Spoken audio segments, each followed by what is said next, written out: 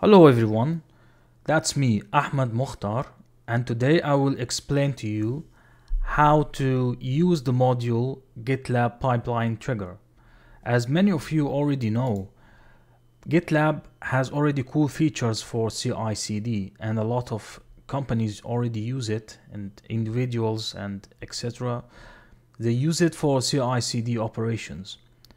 And today I will present a module which I built for Odoo makes it really easy to trigger pipelines in GitLab by a single click. So this module will automatically will automatically also install the project module but before that you need to install this library python gitlab in your odoo server before installing this module so let's install it.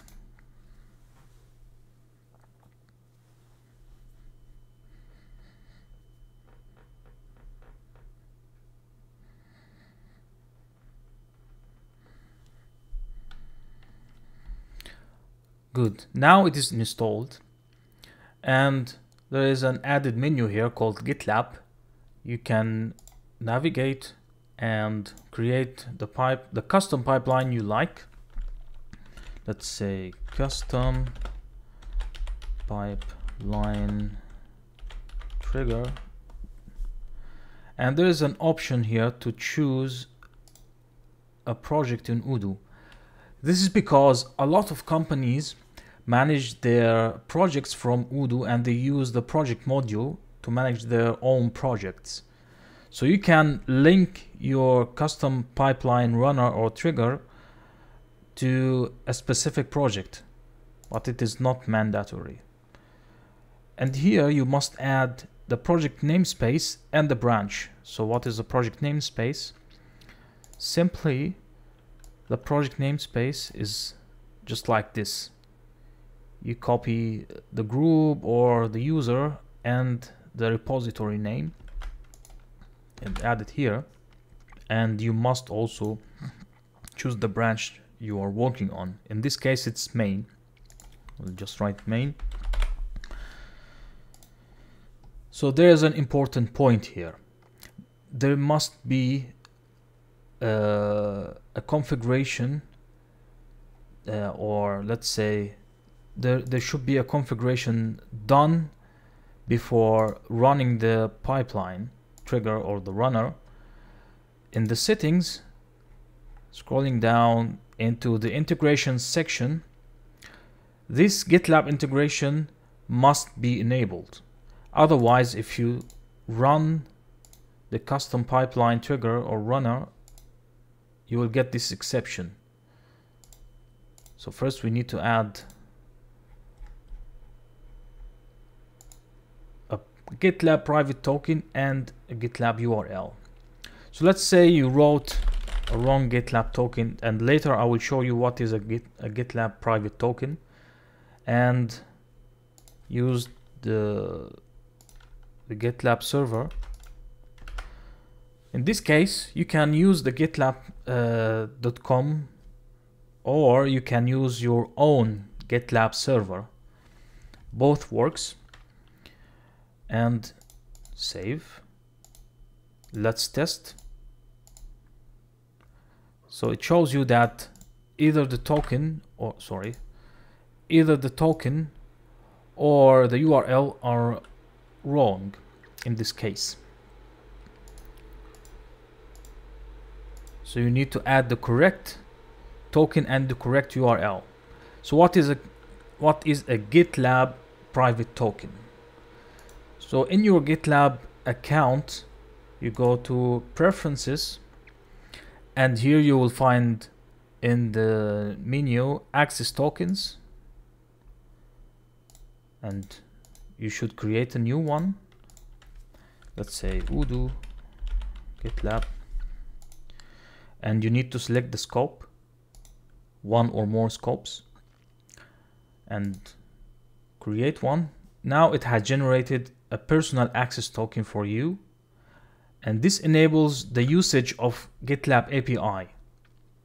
So we will simply copy this here and paste it here and save. In this repository, we have a sample GitLab CI uh, uh, file which will uh, run a pipeline and a job. Let's test that out. You simply click run pipeline.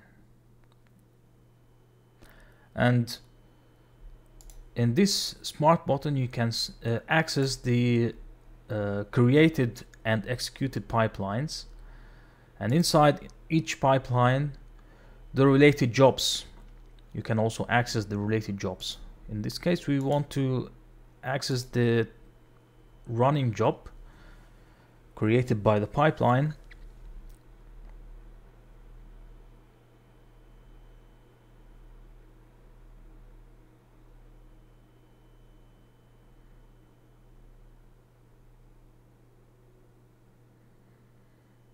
and the job has been created and finished as well.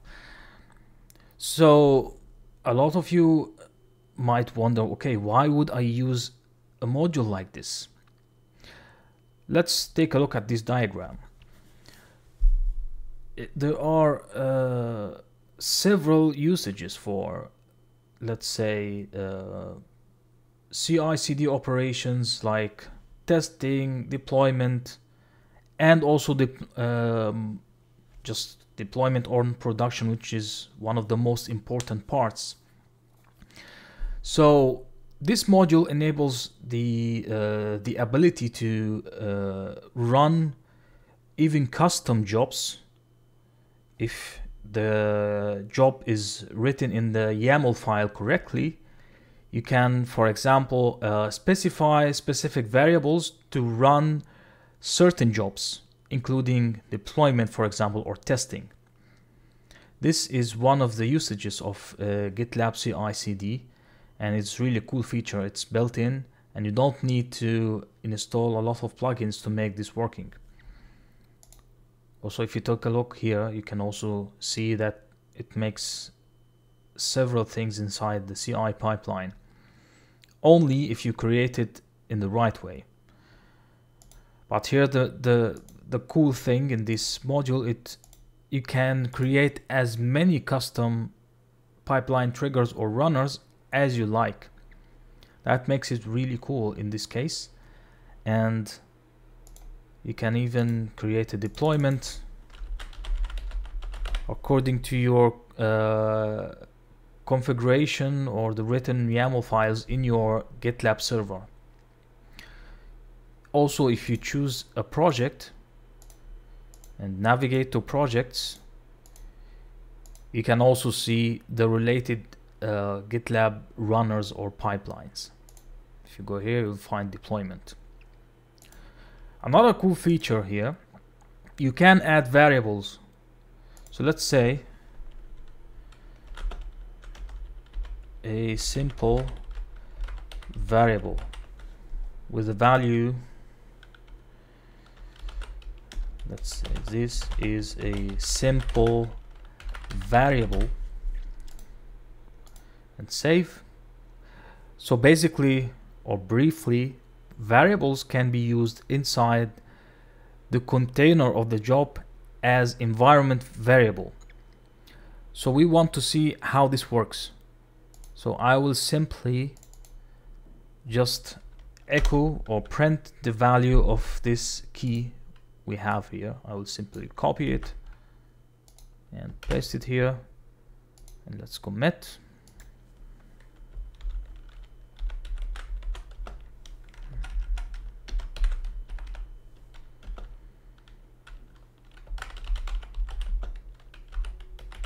Yeah, let's make it simple.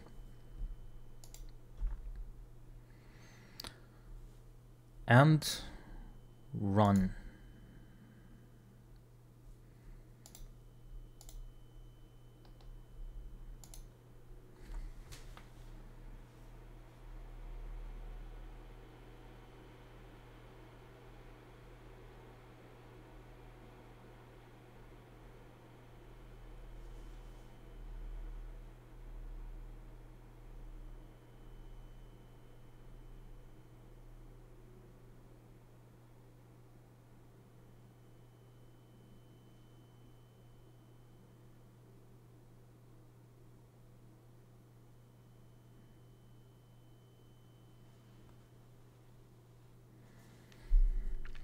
Yeah it actually printed the correct value for the environment variable we have created for this uh, job inside the container. And the job is done. So that's it. And thank you for watching this video. Please subscribe to my channel. And you can also uh, if you like to you can simply contribute.